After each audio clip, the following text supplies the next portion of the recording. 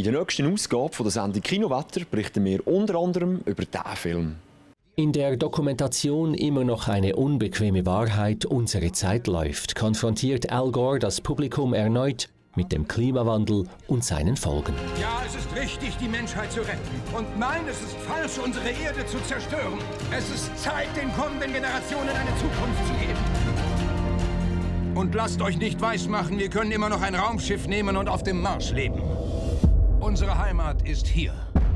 Kinowetter am Donnerstag um 20.10 Uhr auf S1. Willkommen zu Hause.